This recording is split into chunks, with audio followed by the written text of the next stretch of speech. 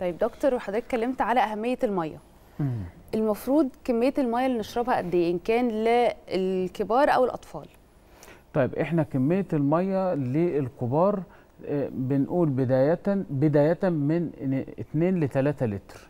يعني ده بالنسبة للكبار الأطفال عند العطش يعني الأطفال عند العطش. الأطفال بنقول عند العطش. فدي من الحاجات المهمة آه، يعني ال- اللي إحنا لازم نركز عليها إن إزازة المية أو زجاجة المية لازم تكون معانا بصفة مستمرة في كل حتة في العمل في السيارة في بره حتى وإحنا ماشيين في أي حتة معانا زجاجة المية على طول آه، بس ملازمة عند لينا العطش دي يا دكتور يعني الأطفال مش ممكن ما ياخدوش بالهم. يعني يعني إحنا على الأقل حتى لو مش عطشانين مدركين أهمية المية فبنفتكر إن إحنا نشرب. بس أطفال بيجروا بيلعبوا. يعني هنحط قدامهم المية هنحط قدامهم المية هنفكرهم.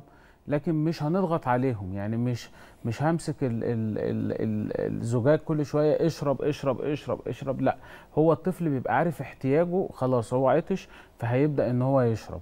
في بعض الأطفال بقى في التمارين وكده بتنسى آه، آه، ماشي ده ممكن إن إحنا نفكره ونضغط عليه شوية لما أنا عارف إن ده هيعمل اكسرسايز أو هيكون في التمرين لكن منه يعني يعني يعني وإحنا قاعدين مثلا بنذاكر أنا وهو ولا حاجة مش هقعد أقول أقول له كل شوية اشرب يعني ممكن يبقى الموضوع منفر للطفل أصلا يعني.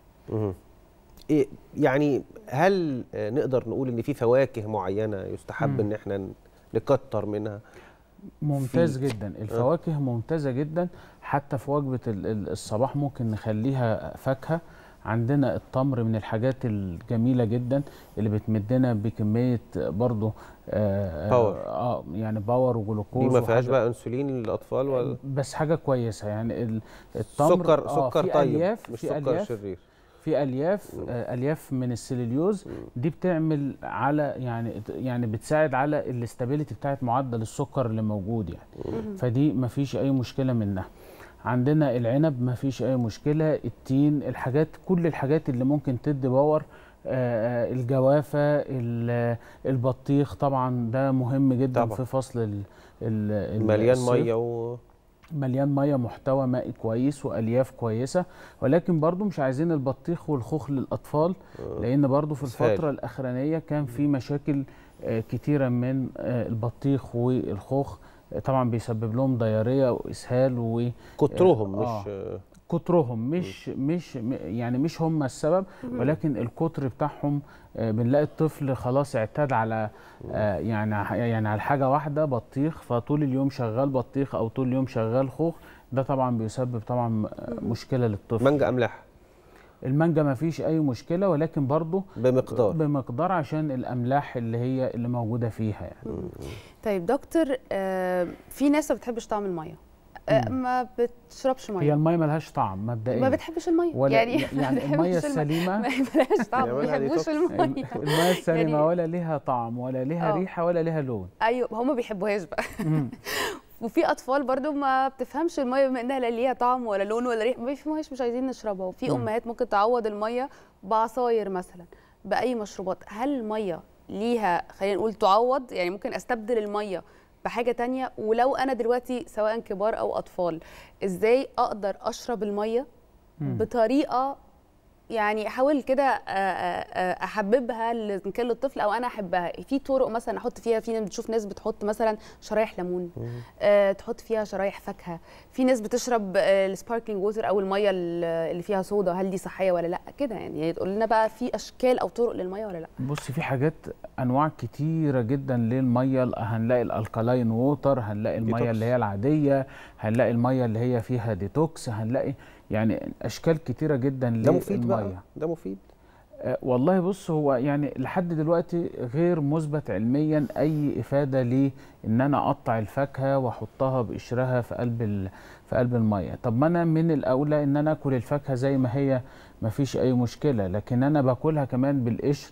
القشر ممكن كمان يكون متعرض لمبيدات آه، حشرية فبالتالي أنا يعني بستخلص بقى كل المبيدات الحشرية في قلب هذا الديتوكس فطبعا بيبقى آه، مفيش ال- الإفادة اللي هي يعني القوية إن أنا يعني أغامر وأعمل الموضوع ده. أنا أكل يعني الفاكهة زي بعيدا ما عن هي؟ الإفادة ممكن بعيدا عن موضوع الديتوكس ده. في ناس مم. بتعمل كده عشان الطعم.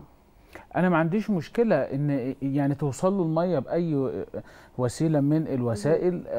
خصوصا بقى الأم لازم تعلم الأطفال يعني منذ الصغر تعودوا على طعم المية. يعني في أمهات بتستنى فترة طويلة جدا عقبال طبعا ما الأم آه، بتبدأ إن هي آه، عقبال ما الطفل آه، حلمات تعودوا على المية بقى ما ملهاش طعم. آه آه. لا يعني يعني أنا أقصد تعودوا على ال على ال شرب على المية. شرب المية يعني. اتعودوا على شرب المية يعني من بدري مش من حاجة يعني مش يعني مش مؤخرا يعني. بس هو وجعلنا من الماء كل شيء حي. الميه المية نفسها ال H2O هي دي عنصر. آه. السؤال يمكن اللي لقيته جمانة برضه متفق معاها فيه. هل ده بيلعب في الخصائص بتاعة المية ولا بيديها لنا بنفس القيمة الغذائية اللي لا هو مش بيلعب في الخصائص الكيميائية بتاعتها. هو. بيديها لنا بنفس برضه القيمة الغذائية لأن هو مش بيغير في المحتوى المائي.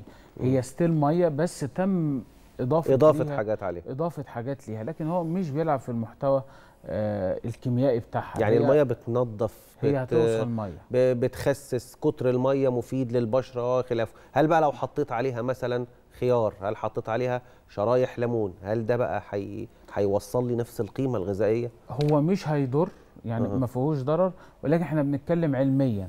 هل هو مثبت علميا ولا لأ؟ لا هو مش مثبت علميا. يعني هو مش مثبت علميا إن أنا أجيب الفاكهة وأقطع وأعمل ديتوكس إن ده هيديني إفادة. لا مش هيديني إفادة. مم. برضه هي وصلت مية ووصلت فاكهة أو وصلت خضار بس. أيوه. ده يعني يعني ما فيش ما فيش بقى أي حاجة. هي تقاليع إحنا بنشوفها فبن فبنطبقها. ماشي. لو لو ده هيشجعنا إن إحنا نشرب مية كميات كبيرة ما فيش أي مشكلة. طيب. يعني ما عندناش أي مشكلة.